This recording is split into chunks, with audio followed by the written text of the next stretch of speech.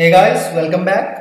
For today's video tutorial, I'm gonna have a look over a new sensor that is ITG3200. Now, we have done a lot of sensors in our previous videos, so I'm gonna introduce to a new digital sensor that is ITG3200.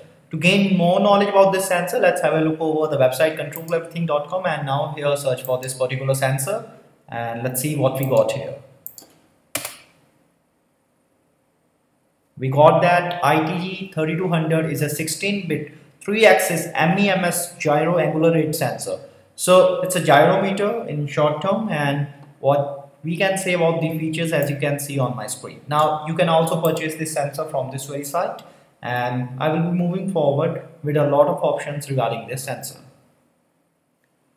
Well, I will be interfacing the sensor ITG 3200 with an Arduino Nano and for that I require an Arduino code so the best chance is to go to the resource tab and here comes the Arduino code sample. Now you can also have the code from this website as a zip file like this. You can download it from here.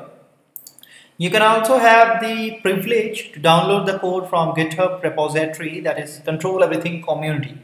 Now why don't we have a look over the hardware we require for this particular video and let's make some connections for that. So now what we require is some hardware. So the sensor you are able to see on my screen is ITG3200. Now what do we require is an Arduino Nano which you are able to see on my screen. Now the question arises how to connect this sensor with the Arduino Nano and here comes the picture of I2C shield.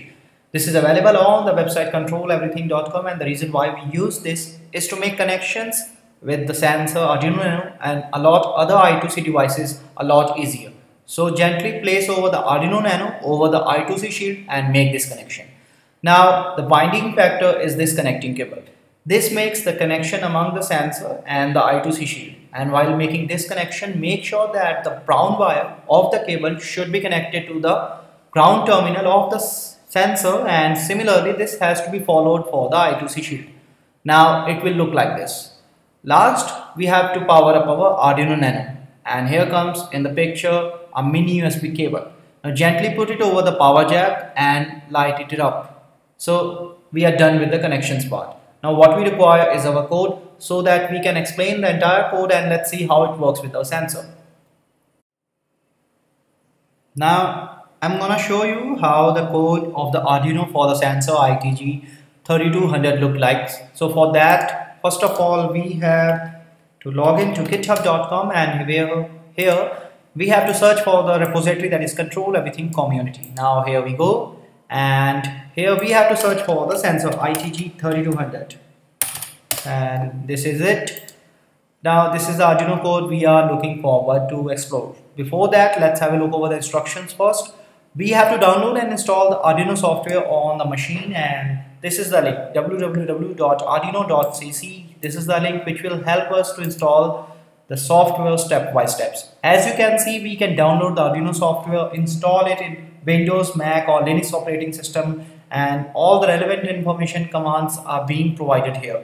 So please have a do carefully look over this. Now get back to the code for which we are doing this now this is the Arduino code with .ino extension now, first of all, we have included wire.h library and defined the address of the sensor that is 0x68.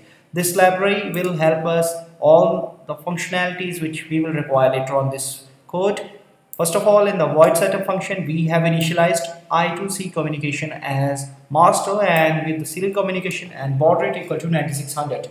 Now in the writing part, we have selected the power management register having address 0x3e and power enabled and the command for that is 0x01 in the second set we have selected range register that is 0x16 as you can see and we have selected here 2000 DPS full scale range and command for that is 0x18 this is the writing part and we have a delay for that so that it can settle up for the commands to check now in the void loop function we have selection of the data register that is 0x1d and we have requested and read 6 bytes of gyroscopic data from this very register. So the values are being continuously monitored and the values are being converted. And here comes the conversion part for the gyroscope which is exactly using the details and the formulas used in the datasheet for the ITG3200. So after we are done with the calculation and all the stuff, we are going to print the data, the output on the monitor, serial monitor and we have the values of x-axis, y-axis, z-axis in the rotational direction and all the raw values are being displayed. So this is a very simple code as you can look yourself and if you have any doubts you can contact me on this very site.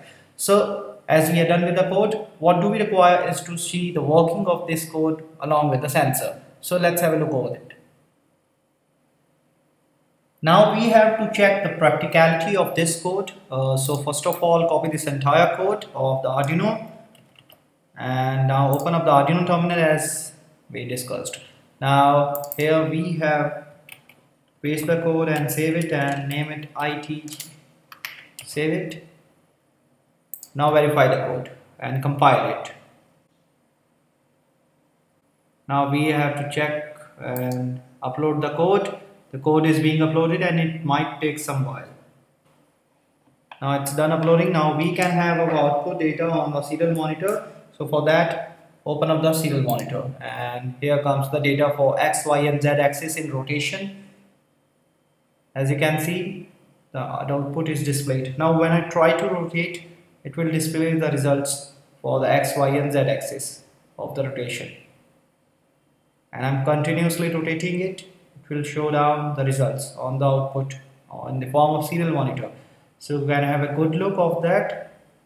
So this is how the code works. Now, what do we require is to see the benefits, the features and the applications of this sensor and the reason why we use this. So, till now we have seen the explanation of the code working and connections part of this particular sensor.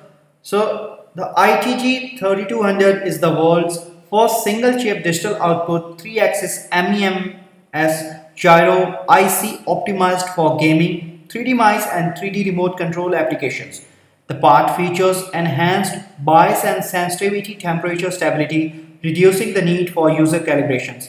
Low frequency noise is lower than previous generation device, simplifying application development and making for more responsive remote controls. Due to this wide features, it's applicable in a lot of applications like motion-enabled game controllers, motion-based portable gaming, 3D mice and 3D remote controls, no-touch UI, health and sports monitoring, and a lot more. This sensor can be purchased from the website controleverything.com and you can get the code from the resource tab and from there you can download it. You can also get the code from GitHub repository that is Control Everything Community. So as we are done with all the requirements for this particular sensor ITG3200, I just would like to make it clear that in case if you are in a kind of thought that you are not able to understand any part of this video, any section, you can put your queries on the controleverything.com and put your comments on the community page of this particular website. Now, for blogs and articles which are relevant to this video, you can blog or post me on instructables.com and also if you have interested or want more video tutorials like this, you can subscribe our YouTube channel. So I hope you enjoyed this video and have yourself a good one. Thanks a lot for watching.